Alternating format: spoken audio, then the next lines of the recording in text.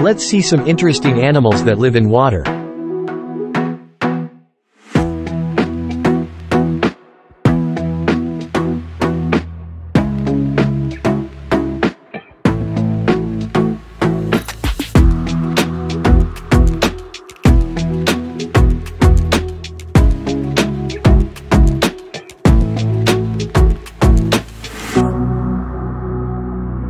Thank you.